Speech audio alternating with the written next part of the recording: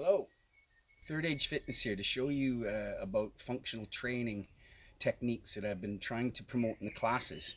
The training that we do in the classes directly relate to functional work that we do.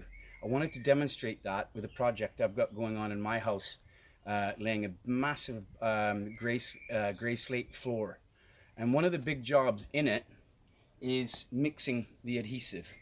So let me show you what we've been talking about recently in the classes and for anyone else out there that wants to learn how to do these type of jobs without hurting themselves, what's the wrong way to do it and the right way to do it.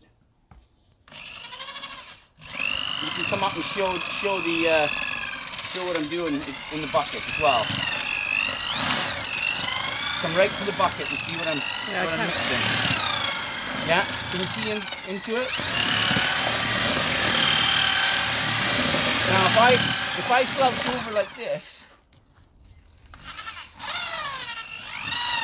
yeah, as opposed to this, which is what we've been working on in the class, your back will get very sore if, you, if you're bent over.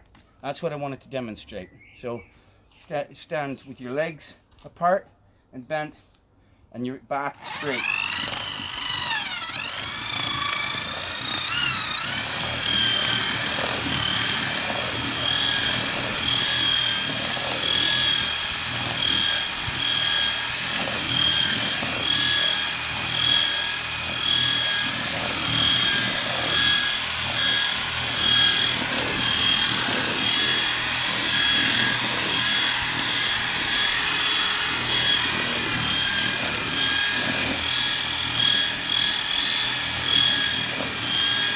Okay, now that's just at the end of the mix.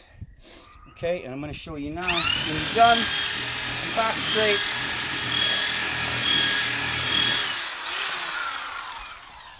And when you're done, you pick it up because it's quite heavy. Again, legs bent, back straight like this. Yeah, and up. Keep the loading close. Thank you very much. Signing off.